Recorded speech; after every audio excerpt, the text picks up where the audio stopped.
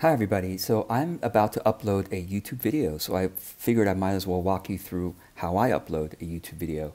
I usually do this from my computer because I usually use Zoom to record my uh, most of my videos. Um, um, yeah, and even if I use my phone to record my, my portrait mode videos, I, I, my phone uploads it to Google Photos and then I download it on my computer from Google Photos to my computer and I upload it anyway.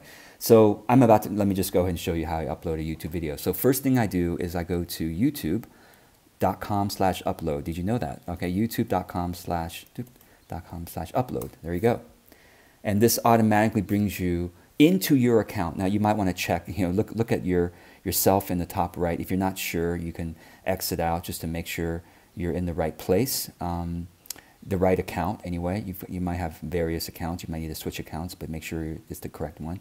And you can also just click create from YouTube Studio. That's the same thing, youtube.com slash upload or click create. Okay, I'm just going to click create and then click upload video. This is, this is, this is where youtube.com slash upload brings us.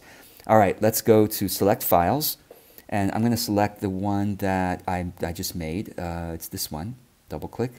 Now, people are going to say, well, George, you're supposed to name the video file because somehow that helps. No, over the years, like I said, I've uploaded almost 2,000 videos to YouTube, and I have not noticed a single lick of difference with the file name uh, versus non-file name. Uh, the, the video title obviously is extremely important, but the file name itself has not mattered for visibility uh, as far as I can tell. So anyway, let's, uh, let's go. Uh, the, the, the title obviously is very important. I talk about titling and descriptions in other segments. I just wanted to walk you through the rest of the typical uh, uploading settings. So I'm just going to quickly uh, name this right now. I'm going to change it later, but um, I'm going to say um, create urgently. this, this is literally what I my my um, my videos about today. So and then you'll notice that the thumbnail is still uh, processing. And what I often do, if I'm going to select one of the thumbnails, I'll often go through the rest of the process first and then later come back to details to choose a thumbnail. In this case, I actually created a thumbnail image. So I'm going to click on Upload uh, Thumbnail and then I'm going to select the uh, this one here that I already created.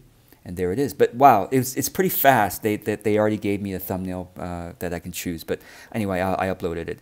If for some reason you want a different one, you can always click on the three dots there and click change, or I don't know why you would download it because you uploaded yourself. But anyway, uh, maybe in the future when you come back and it's like, oh, wow, I want that image again. But um, anyway, so I've done that. Again, I'll, I'll, uh, I'll skip the titling uh, instructions right now and, and, description instructions.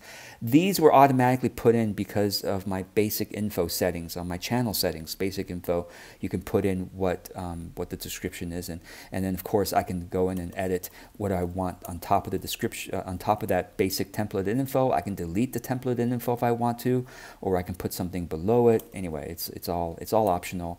Uh, I'm just for now going to uh, I'll, do, I'll deal with that later. All right, so playlists. This is important as well. I'll probably do a separate segment about playlists, but I do try to put my videos into playlists where I can you know where I can think of oh that's a relevant one. So uh, this one is definitely uh, about creating and I, I have named my playlist with my main playlist I have added GK in the front. So it makes it makes it easy for me to type and find it again because I have so many playlists. So um, consistent creating I'm just going to add that one. You can do multiple playlists uh, a video can go on multiple playlists if, if you wanted to but I'm just to for this case I'm to just add one okay no, it's not made for kids. We talked about that in a different video, but made for kids means it goes through additional legal requirements so that it's like, you know, legally uh, viewable to kids. We are making videos for adults, not adult entertainment, right? But well, maybe some of you, I don't know. But no, anyway, please do not do yes made for kids unless you want the additional compliance issues that come with that. Um, so no, it's not made for kids unless you you know, unless you are. But uh, no, it's not made for kids. Most of us. Uh, age restriction again. Don't don't don't do that. Um, I'm going to move myself over to the middle here, or to the right, I guess. Uh, well, over here. Oh, whatever. Okay. Um, I'll move it my, myself over here for now, and then click Show More. Okay, I'm to do that. I'm to scroll down. My video contains paid promotion. Uh, okay, so this is a tricky one. Um, you know what? I, I'm, I'm not going to talk about that right now. I'm going to skip that, do that in separate video, but I usually don't keep it checked. Allow automatic chapters. I usually keep it checked. I know there are, you know, there's advice out there that don't, don't, don't make it automatic. They, they, they do a poor job of it, but I don't know. I mean, AI is going to get better. I think it's, it does, it doesn't do as good of a job as if you put in chapters yourself. But I'm, I always keep it checked for now. I can always remove it later if I want to make my own chapters. So I keep it checked in case, in case it ends up being pretty good, in case they end up doing it. I always uncheck automatic places unless I literally am making a video where I'm traveling somewhere and I, I don't mind YouTube automatically tagging the restaurant I'm in front of or the, the landmark I'm in front of. But most of us usually just make, make videos in our neighborhood, right? Or in our home. We don't want YouTube to tag certain neighborhood landmarks or whatever. So uncheck that because uh, I have had weird taggings on my thing based on automatic places, and it was really weird. It was featuring some other YouTube video, uh, YouTube channel that had a place on Google Maps or whatever. Anyway, um, automatic concepts, I, I keep that checked. It's still an experimental thing, but um, and some people will complain that oh YouTube doesn't really understand concepts and anyway I'm keeping it checked for now because I'm interested in what happens. Tags do not matter anymore. I'm going to skip this for now, um, except for if YouTube frequently in, in the subtitles misspells a word that you say or a name that you say, like George Cow, for example, those do COW. So I always put George Cow in there as a tag. It, this is also set in the channel settings area. Anyway, I'll skip that for now. But it does not matter for visibility. It's really more for like the subtitle spelling correctly. Anyway, let me keep going. Language and captions. Uh, these things I usually keep default. Uh, so just leave it at that. I think I made a video about ch those channel settings elsewhere. These, this all comes from the channel defaults. Um, recording date and location, I usually keep this blank. It doesn't really matter unless, yeah, I don't, anyway, I'm going to skip this for now. It, it really doesn't matter uh, in my experience. License distribution, I usually keep it on Creative Commons. Um, I recommend that because it, it allows other people to use your videos. I, I hope you're okay with that. If other people want to feature a clip of your video, would you be okay with that? If you are, keep it at Creative Commons. If you, for some reason, aren't, then you got to make it standard YouTube license. But I, I, I, prefer Creative Commons. So allow embedding. I don't see why not. If someone wants to embed my video on their channel or on their website, oh, great, wonderful, right? Um, the only case, yeah, I, I'm just going to skip this for now. I think by default, it's fine. Publish, okay, this is important publish the subscriptions feed and notify subscribers. If this is one of my main videos that I want that I think is relevant for most of my subscribers, I keep it checked.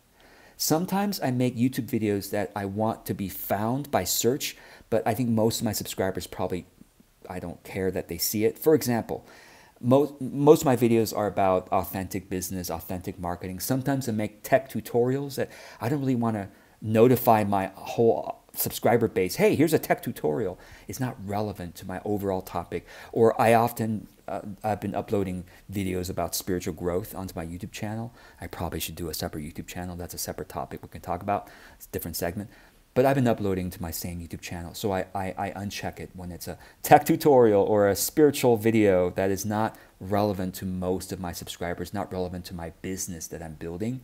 I will uncheck that um, so that they don't get a notification. They might still see it in the home feed. They can watch it if they're like a like a big fan. They can watch my other videos, but most of them won't be bothered by this. But if it's a main video like this one where it's related to my biz, related to the topics that are related to my business, I'm not selling anything in this video. But anyway, I, I do want most of my subscribers to know to be notified that this exists if they're if they're getting notifications on my channel. Shorts remixing I don't see why not. It, uh, basically allowing other people to create short videos that are that take clips of your video. I mean, gosh, great. if they, they want if, if they if they like my my stuff enough. Anyway, I, I say allow.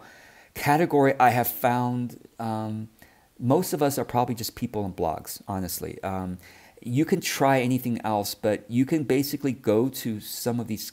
Uh, anyway, I'm I'm going to skip this. This is going to get too complicated basically it doesn't matter that much. It doesn't. I, I haven't noticed any difference when I change the category. So I'm gonna say just keep people in blogs. Most of us are are, are fit in that category just just fine.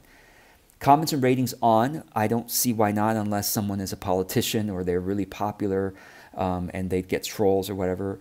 Comment moderation. We'll, we'll skip this. This is for most of us just on, and, and none is just fine. Okay, it's, it's better that way.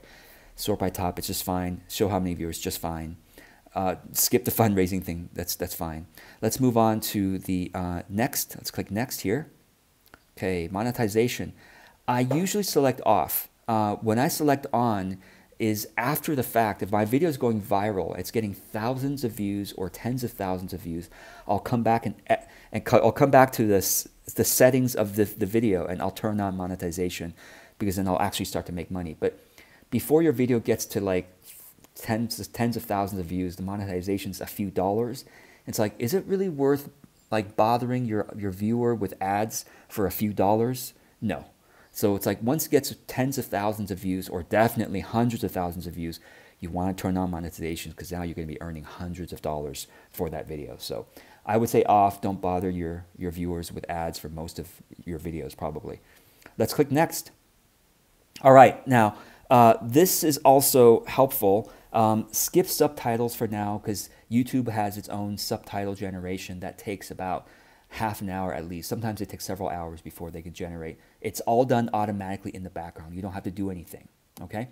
Music license again. Most of us aren't playing music in our videos. If you are, you need to add music license because otherwise you'll get your video will get taken down. Uh, skip the tag products for now. We'll talk about that in some other in some other segment if that's if that's relevant for some of you. End screen I think is important. Add cards can be important. Um, I will talk about these in separate videos because that's going to take too long. I'm just going to show you how I usually upload. Um, yeah, I'll, again, I'll address this in a separate video, but for me, it's easy because I've done end screen before. If you've done an end screen before that you want to just keep the same for all your videos, then you can click import from video and, and then you gotta click it again. And I've already done videos like this, so for my previous video, it's just similar to this has end screens that I like. Anyway, I will talk about end screen in a separate segment. I just want to show you this is what I do when I upload a video. I just import it from a previous one where I have an end screen. I click save, and then uh, there it is. It's added. I'm going to click next. And the checks, basically, this is about music licensing. It doesn't matter for most of us. Uh, click next.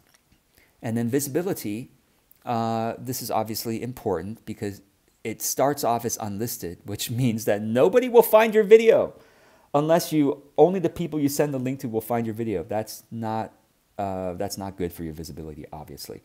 So setting it public means it's instantly on YouTube now. Now I usually schedule my videos because I have a rhythm of publishing my YouTube videos. That's something we could talk about separately if you want to. But I, I'm going to schedule this for Monday. So I'm just going to click on Monday. And yes, some people say, oh, you got to figure out, you know, use your analytics to see when your viewers are typically viewing and set it to the right time. I don't know. I honestly don't think that matters as much as some YouTube advisors are saying because how many times have you seen YouTube videos uh, suggested to you that were days ago or even years ago? Frequently, frequently. So it's not as big of a deal as they, they make it out to be. I'm just going to leave it alone uh, because the thing is, when it's set for that day, you want because that that day is going to be the date of the video from now on. It was published on January 22nd.